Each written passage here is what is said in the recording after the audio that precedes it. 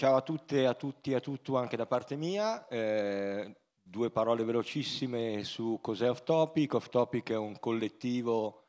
eh, nato 12 anni fa eh, nel solco di quella che era all'epoca la, eh, il contrasto, la lotta, la mobilitazione contro quello che sarebbe stato il grande evento Expo 2015. Eh, è un collettivo che ha sede eh, in quello che è rimasto l'ultimo e oggi forse l'unico spazio occupato al quartiere Isola a Milano, piano terra, eh, un quartiere che è appunto il simbolo di quello che succede in una metropoli moderna, in una metropoli dove tutto è finanza e finanziarizzato a partire dal suolo pubblico. Eh, cosa succede quando un grande evento, all'epoca Expo, oggi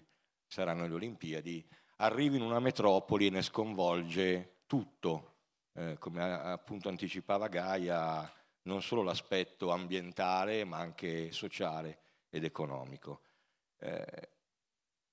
e quindi ecco perché parlare oggi di Olimpiadi, che siano Olimpiadi invernali, Olimpiadi estive, eh, anche perché poi le due cose oggi hanno sempre meno differenziazione, visto che fanno le Olimpiadi invernali in città come Milano, Pechino, dove nevica forse una volta all'anno due centimetri mal contati. Eh, perché ormai l'Olimpiade, le Olimpiadi contemporanee quantomeno degli ultimi 30-40 anni, è tutto tranne che un evento sportivo. È puro business, è puro business da un lato perché ovviamente mobilita non solo eh, grandi gruppi multinazionali a livello di sponsorizzazione, a livello di eh, realizzazione delle opere. Eh, prima si accennava alla pista di Bob di Cortina, si vocifera che uno dei possibili costruttori sarà WeBuild, già nota come Safino, eh, eh, Salini in pregilo e quindi parliamo di uno dei principali gruppi di engineering, co- costruzione, cantieristica a livello mondiale. Eh, quindi mobilitano grandi interessi, mobilitano grandi attenzioni da parte di chi capisce che dentro la macchina olimpica eh, c'è da fare affari e capisce che dentro la macchina olimpica c'è da fare affari perché la caratteristica della macchina olimpica contemporanea è quella di mobilitare grandi risorse, ovviamente spesso, sicuramente in Italia, di derivazione pubblica, eh, grandi risorse che alla fine sono sempre molte di più di quelle dichiarate inizialmente, eh, la media delle Olimpiadi degli ultimi decenni parla circa di costi finali pari al 142% dei costi che erano stati dichiarati in sede di presentazione della candidatura. E così sta succedendo anche per l'operazione Milano Cortina, con costi che lievitano,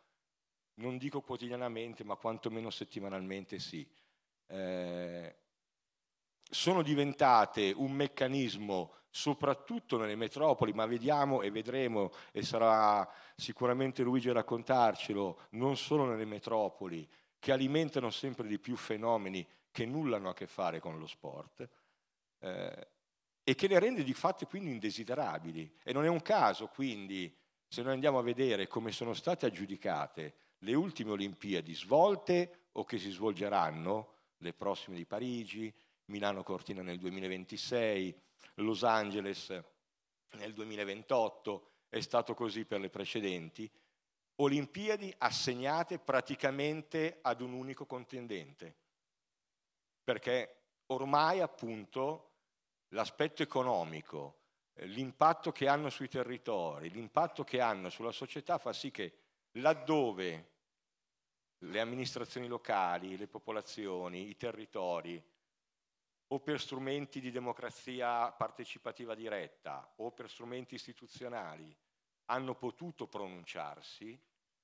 i territori hanno detto non le vogliamo le Olimpiadi. Sia territori, come dire, che mai hanno sperimentato sulla loro pelle cosa vuol dire organizzare un'Olimpiade, soprattutto territori che l'hanno già sperimentato e che quindi alla retorica della grande opportunità, della sostenibilità, della grande occasione di sviluppo, di, di, di posti di lavoro, eccetera, eccetera, eccetera, non ci credono più, perché hanno sperimentato che non è vero, perché non è vero che Olimpiadi che senza pensare al gigantismo di alcune edizioni come Sochi o, eh, o come Pechino che hanno veramente raggiunto livelli di costi inenarrabili, ma per rimanere anche a Olimpiadi fatte nella vecchia Europa, come si suol dire, eh, Olimpiadi che costano 3, 4, 5, 6, 10 miliardi di euro o di dollari, poco cambia, beh, è un costo che i territori non sono più eh, mm, disponibili a supportare, perché è un costo che ovviamente va a gravare, dicevamo prima, derivazione in gran parte pubblica, va a gravare ovviamente su quello che poi lo Stato, le amministrazioni locali possono fare dovendo scegliere ovviamente dentro un perimetro sempre più ristretto che è quello delle risorse economiche disponibili. Eh, il fatto che siano indesiderabili e quindi il fatto che Milano Cortina siano state sostanzialmente assegnate con unico contendente la città di Stoccolma che aveva questa bellissima candidatura per cui era sostenuta dal Comitato Olimpico svedese, era sostenuta dal Ministro dello Sport svedese, ma col sindaco di Stoccolma che ha detto noi non le vogliamo. Quindi immaginatevi voi quale livello di costruzione del consenso possa aver fatto la città di Stoccolma rispetto alla propria candidatura, cosa che invece ha visto spendersi eh, in maniera assolutamente trasversale e, come si suol dire, bipartisan, da,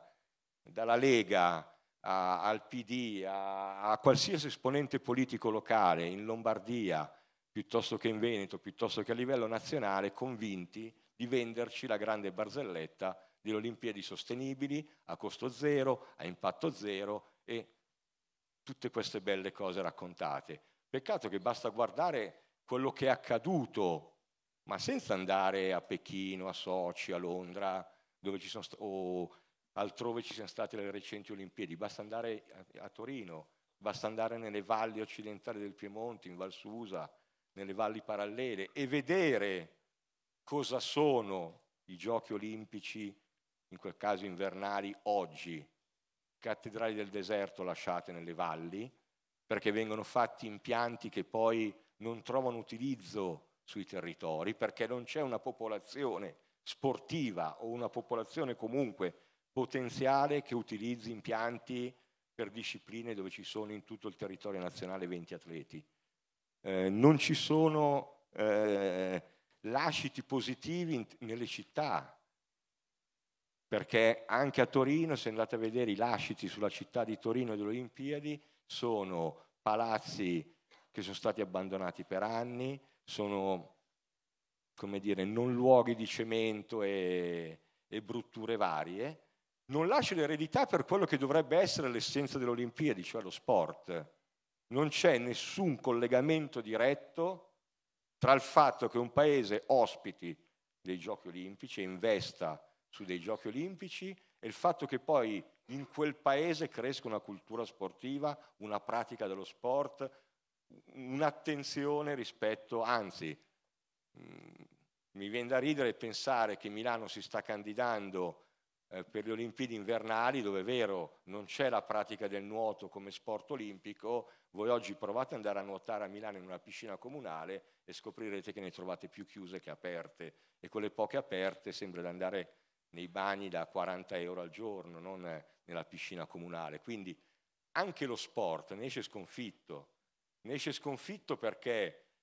appunto, come dicevo all'inizio, lo scopo delle Olimpiadi non è fare sport, ma è mobilitare risorse, mobilitare eh, interessi e generare eh, dei dispositivi di governance straordinari che poi permettono di fare le peggio cose, permettono appunto di, eh, come dire, stravolgere eh, non solo eh, i territori, ma soprattutto di stravolgere l'essenza stessa di cos'è il concetto di sport, di Olimpiadi di, e quindi di evento in qualche modo positivo. Eh, se vi ricordate, tra il 2018 e il 2019, quando appunto sono stati venduti i giochi olimpici eh, Milano Cortina come l'evento a cui non si poteva rinunciare, il tema proprio centrale è stato quello della sostenibilità. Non a caso, non a caso perché era un po' difficile andare a raccontare in una città come Milano che era appena uscita da un'operazione Expo e che ancora invece sta continuando in, in un solco di continuo consumo di suolo, eccetera, eccetera. Andare a raccontare a territori montani, che siano quelli della Valtellina o quelli dolomitici, dove ogni due per tre cadono frane, alluvioni, dove le popolazioni... Insomma, andare a raccontare a questa gente che avrebbero fatto delle schifezze non era ovviamente pensabile. E quindi la, la grande narrazione della sostenibilità. Poi quella narrazione piano piano crolla. Eh, ne parleremo dopo, però ogni giorno quella va- patina sulla sostenibilità viene in qualche modo eh, annullata da quello che accade poi nei fatti. Eh, cito una cosa a caso proprio perché credo che poi questo sia oggi il vero significato del definire insostenibili le Olimpiadi. Cioè, eh, come Gaia diceva nella sua introduzione, viviamo un'epoca dove ormai parlare di emergenza climatica, di crisi climatica, di crisi ambientale è quasi ridondante, tanto evidente sotto gli occhi di tutti. Eh, viviamo in territori, che sia la pianura veneta o che sia eh, quella lombarda, dove il suolo ha bisogno di tutto e dove i nostri polmoni, per l'aria che respiriamo, hanno bisogno di tutto tranne che di asfalto, di cemento, di consumo di suolo. Quindi è evidente che qualsiasi operazione che sia un grande evento, che sia una grande opera, che siano i mondiali di calcio, che sia il TAV, che sia le Olimpiadi, che non tenga conto di qual è la priorità, è di fatto insostenibile, quindi inaccettabile. Quindi aveva ragione Gaia a dire non dobbiamo vergognarci a dire no. Perché oggi dire no è, è il primo principio di realismo di fronte a un mondo, non ce lo stanno raccontando, ma ci sono le pianure greche che sono immerse dall'acqua da giorni, un'alluvione forse peggiore di quello che ha colpito la Romagna pochi mesi fa, non ce lo stanno raccontando, però chiunque di voi come dire, scrolli qualsivoglia social troverà post, immagino quant'altro. Quindi se questo è il pianeta, questo pianeta non può più accettare che in nome dello sport si facciano nuove schifezze, nuovo asfalto, nuove infrastrutture, nuove, dire, nuove opere che a nulla servono se non ai profitti, come voi avete scritto, di chi le fa e non certo ai bisogni delle popolazioni che le sopportano. Ecco perché sono indesiderabili dove la gente può dire di no. Ecco perché sono insostenibili e noi abbiamo il dovere, non abbiamo potuto dirlo prima, ma oggi abbiamo il dovere di fare qualsiasi cosa possibile, non tanto perché ovviamente è abbastanza irrealistico dire no Milano Cortina 2026, eh, però abbiamo il dovere di dire no a tutte quelle cose a cui possiamo dire no dentro l'operazione Milano Cortina 2026. Abbiamo il dovere di fare quella cosa finta, ma che ci raccontano, per chi ha fatto eh, studi classici sicuramente l'avranno raccontato, della Pax Olimpica greca, c'era una palla perché la Pax Olimpica c'era per Atene e Sparta forse, poi in tutto il mondo c'era la guerra, non gliene fregava niente a nessuno. No? Ecco, dobbiamo smontare anche il mito delle Olimpiadi come momento in cui il territorio si pacifica in nome dello sport. No, noi in quei giorni dobbiamo andare a, fa- a dire qua c'è conflitto, questi territori non sono in pace, questi territori sono stufi di sopportare di sopportare di essere predati, sfruttati, consumati, inquinati per il profitto di pochi a danno delle moltitudini che le vivono. Grazie.